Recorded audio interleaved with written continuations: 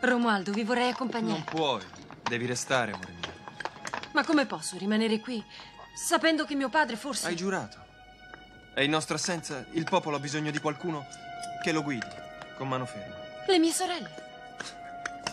Loro devono pensare ai bambini che stanno per nascere.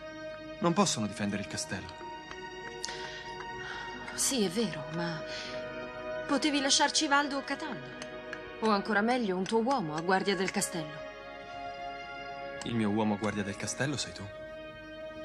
Avrei potuto scegliere meglio. Quanto ti amo.